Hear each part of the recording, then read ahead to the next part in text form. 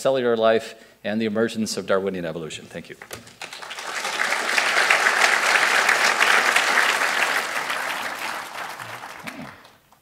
Well, thank you very much, uh, Jerry, and uh, also Maria and uh, Harry.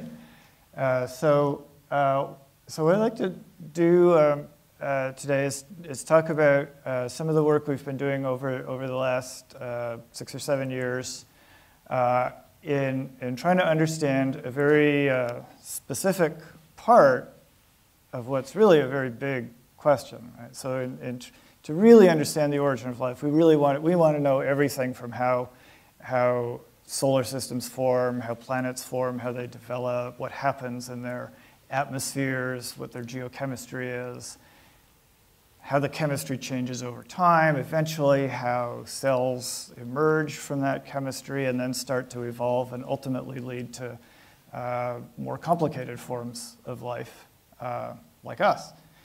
Uh, so that's, you know, more than anybody individually can do, we've chosen a really small part of that puzzle to focus on, which is just the question of how, you know, assuming you have the building blocks, the chemicals, how do they start to get together and interact and start to behave in a biological fashion? And since my background is biology, to me, the most important aspect of that is Darwinian evolution. How do a bunch of molecules get together and start to show Darwinian behavior. Okay, so uh, the way that we approach that kind of problem is synthetically. We try to build structures, look at their behavior, uh, and gradually uh, build up more complicated uh, structures. And our ultimate goal is to be able to take off the shelf chemicals in the lab, have them self assemble into cell like structures, and watch them uh, evolve new functions. And so the way we think about it is sort of illustrated here schematically. We, in terms of a very simple model of a primitive cell or protocell with a, a membrane uh, boundary and some genetic materials on the inside. Okay, so before I get into those experiments in more detail, I just want to say a little bit more by way of background in terms of why I think this question of the origin of life has, has in recent years, uh, become uh, more of a high profile issue. I think there's been a lot more interest in it. And I think a lot of that comes from the realization over the last 10 or 20 years that life has really colonized a lot more of this planet than we used to think. Life is incredibly adaptable. Uh, I think we all know about these, these very high temperature uh, hydrothermal vents on the ocean floor where you find just abundant life under just amazing conditions. But you know, it goes sort of beyond that. So a bit of a lag here. Uh, so, so here's an example of uh, Rio Tinto in, in Spain. This is a highly acidic uh, uh, river, and there are even more acidic environments on the Earth, pH down to zero. And, and there's just abundant uh, life in these environments. Um, um, here, here you can, you can see this green layer inside the rock, right? So, so there are algae growing in the rock. And we know now that there, there's life kilometers down in, in pores of rocks. So life is everywhere. And it really makes you think if life could get started almost anywhere in the universe, it would, it would start to adapt and, and colonize and, and, and spread. And, and so we know from our, from our astronomer friends now that there are a lot of planets out there.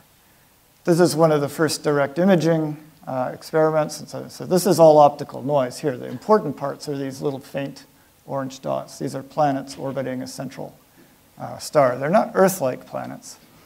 And no Earth-like planets have been seen yet, but my friends tell me that within a few years, we will be detecting Earth-like planets. Within a few years after that, we'll have spectra of their atmosphere. And we all want to know, is it possible that there might be life on those other planets? If you think about a typical galaxy with 100 billion stars, there could easily be a billion Earth-like planets out there. And so there are two possibilities, right? If, if it's easy for life to get started, most of those planets are probably have been colonized by at least simple microbial life, This doesn't really say anything about intelligent life, but uh, you know, on, on the other hand, if it's really, really hard to get life started, if there's some bottleneck, some particular point in that process that's, that's really tough, it could be that you know, we're the only planet in our galaxy that, that has life on it, or maybe even in the whole universe.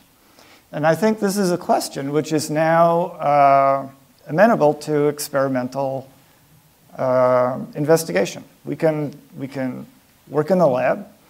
Uh, we, we can sort of try to reconstruct uh, plausible pathways. If we can find pathways that look pretty simple and straightforward and plausible in a natural scenario, then I think that would really support the idea that life might be uh, abundant out there. Uh, if not, not. A related question that's maybe even more interesting is if there is life elsewhere, is it going to be pretty much like the life that we're familiar with, you know, based on water, uh, maybe nucleic acids to carry heritable information, allow evolution to take place, uh, maybe protein-like molecules to do most of the structural and catalytic uh, work, or could it be really, really different? Uh, so one way life could be really different is to not use water as the solvent. We know there are environments out there that have large amounts of non aqueous uh, liquid reservoirs, right? There are, there, are, uh, there are the methane, ethane lakes on Titan, an example close to home. Uh, uh, and so I think this is also something that can be looked at experimentally. And we've just made the barest beginnings of, of looking at this, but it's something that I, I look forward to uh, in the future. I think, I think the effort to design life that works in very different ways is, is a really interesting uh, intellectual challenge. Okay, so, but to come back to much more conservative uh, experiments, let me talk about uh, a simple form of life um, that is based on what we know about modern biology. And so here's a, another schematic version of the kind of structure that we're trying to build uh, in the lab. And uh, so there are two uh, main components. Um, um, just as there are in all modern cells, all, all, all modern cells have a, a membrane uh, boundary structure, a bilayer uh, lipid membrane. Uh, and on the inside, some genetic material so that information can be coded in sequences and transmitted from generation to generation. And also, so that that information uh, can generate folded molecular structures that catalyze chemical reactions and therefore do something useful to the system as a whole. Now, this is obviously incredibly simple and stripped down compared to any existing modern biological cell, but I think it captures two of the main aspects of cellular life. Because the system is so simplified, though, so stripped down, it can only live in, a, in an environment which is correspondingly complicated. So the environment has to supply all of the building blocks. And so if we're thinking about the early Earth, this corresponds to an environment with a rich prebiotic chemistry uh, where, where the building blocks that are going to assemble into the first cells have been made in chemical processes out in the environment. And there are lots of people studying that, and I'm not really going to talk very much about that kind of prebiotic chemistry. We're just focusing on, assuming we have those molecules, how do we get them to self-assemble into structures that can replicate and evolve? Okay. Um, so, uh, so the membrane-forming molecules, the building blocks for the genetic material come from the environment, along with various sources of energy, uh, mechanical energy, uh, chemical energy, and so on. Now, one of the, the self-assembly of structures like this is actually pretty simple. And, and I'm not going to say much about it. The tricky part, and the part that I want to concentrate on, is how a, a, structure like this could grow and divide without any of the complicated biological machinery that most of us spend our, our uh, lives studying. So there are two particular puzzles that needed to be solved. For the membrane uh, uh, uh boundary, it has to be able to grow spontaneously, uh, just based on physics and chemistry. And once it's grown, it has to divide into smaller daughter cells. Okay, so again, without any of the hugely complicated machinery that mediates cell division. Similarly, the genetic material has to replicate